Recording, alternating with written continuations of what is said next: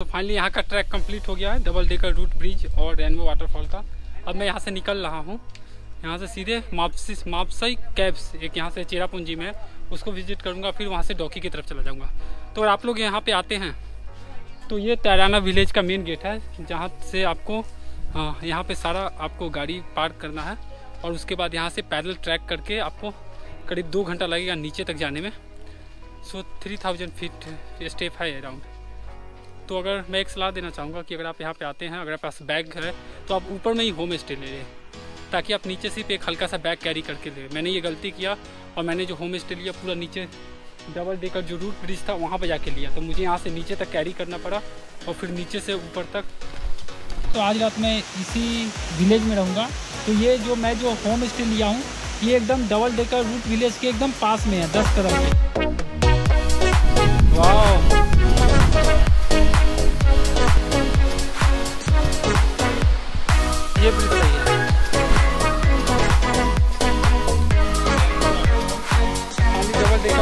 गया हूँ।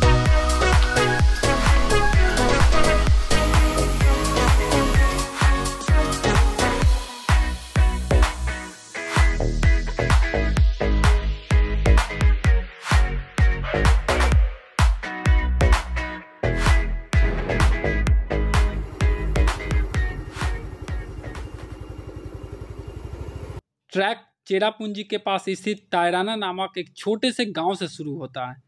पहले आपको शिलोंग से चेरापूंजी आना है और फिर चेरापूंजी से और आगे तैराना करके एक गाँव है, वहाँ पे आना है। और चेरापूंजी से तैराना की दूरी करीब 12 किलोमीटर की है।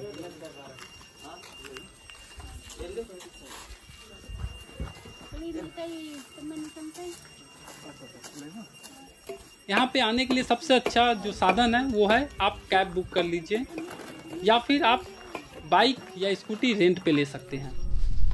या वेलकम बैक फाइनली मैं पहुँच चुका हूँ तैराना विलेज जहाँ पे डबल डेकर रूट विलेज का ट्रैक है। सो so, शिलोंग से मैं सीधा तैराना विलेज ही आया हूँ। मैं चेरापूंजी में भी स्टे नहीं किया और रास्ते मैंने सिर्फ़ और सिर्फ़ एक वाटरफॉल था एलिफेंट फॉल्स वो देखा हूँ।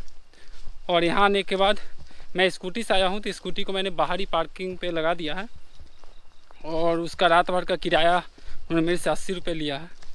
तो वो बाहर लगाने के बाद मैं नीचे उतर रहा हूँ, जहाँ पे वो ट्रैक का रास्ता है। और नीचे ही एक होम स्टे है, सेरिन होम स्टे, जहाँ पे मैं अभी रुकूँगा।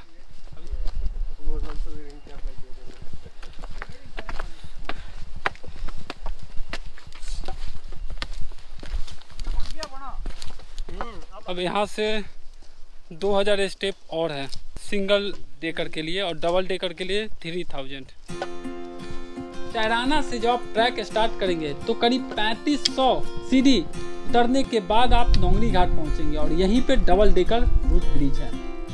रहने के लिहाज से डबल डेकर रूट ब्रिज के पास काफ़ी सारे होम स्टे हैं। आप जब तैराना विलेज पहुँचेंगे तो वहाँ भी आपको बहुत सारे होम स्टे मिल जाएगा।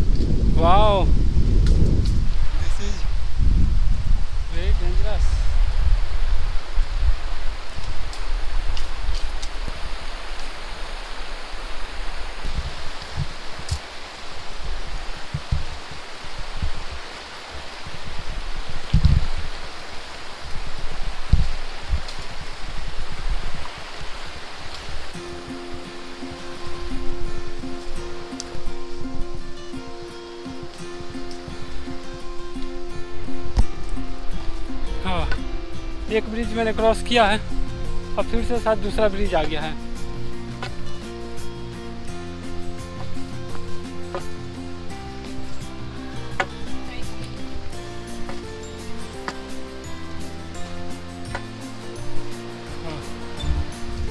ये ब्रिज सही है, इसमें डरने वाली बात नहीं है।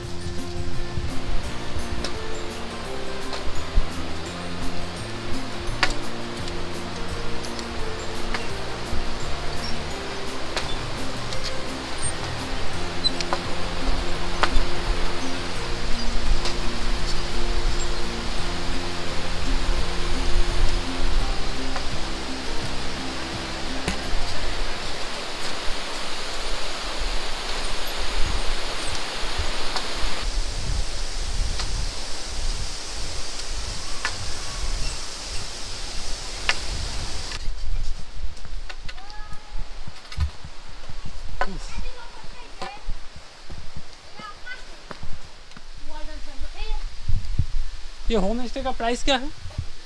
होम स्टे का प्राइस? फाइव हंड्रेड और ऊपर शेरिन का? थैंक यू हाँ?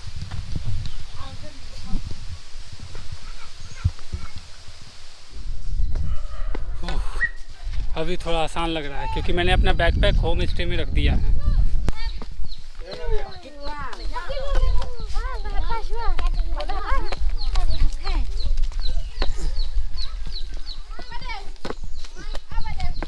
सो अभी नीचे से ऊपर आने के क्रम में एक होम स्टे मिला है।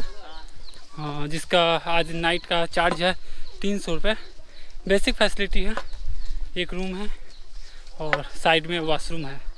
तो ठीक है चल जाएगा नो प्रॉब्लम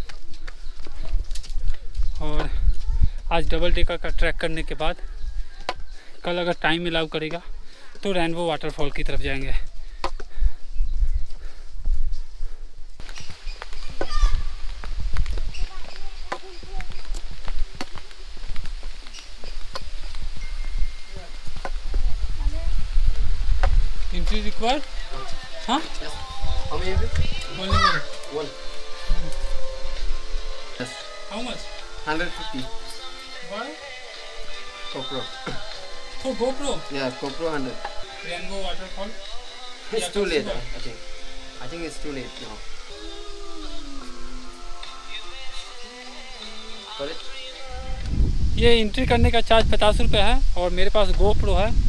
तो उसका hundred rupees it means total डेढ़ सौ रुपये पे करना है यहाँ पे।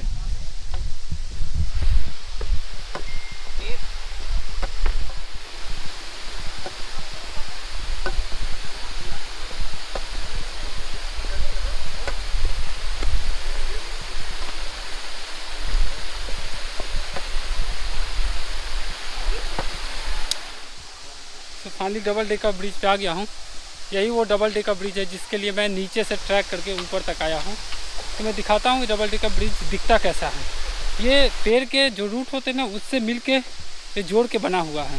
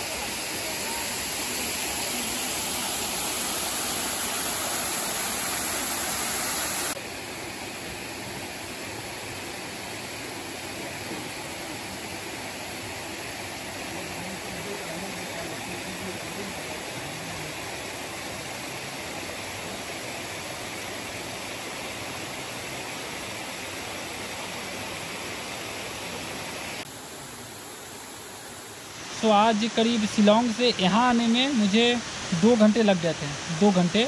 और उसके बाद ये स्टेप जो ट्रैक है उसमें भी एक से डेढ़ घंटा लग गया। और हाँ यहाँ पे जब आते हैं तो पहले आपको एक सिंगल ब्रिज मिलेगा जो कि लोहा का है वहाँ पे थोड़ा डर भी आपको लगेगा। और फिर अ, एक और ब्रिज मिलेगा वो अच्छा ब्रिज है वो लंबा ब्रिज है फिर उसको क्लाइंब करना है आगे जाके तब जाके ये गाँव आएगा। तो ये जो मैं जो होम स्टे लिया हूँ ये एकदम डबल डेकर रूट विलेज के एकदम पास में है, दस कदम पे हैं। और प्लस एक और बात, जब आप यहाँ पे आते हैं तो आपको एंट्री फ़ीस पचास रुपये देने हैं। पचास रुपये एंट्री फ़ीस है और सौ रुपये गोप्रो के है। तो मेरे पास गोप्रो था तो इसका सौ रुपये एक्स्ट्रा अलग से चार्ज लगा है।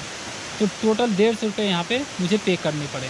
तो यही कुछ है इस double decker root village के बारे में।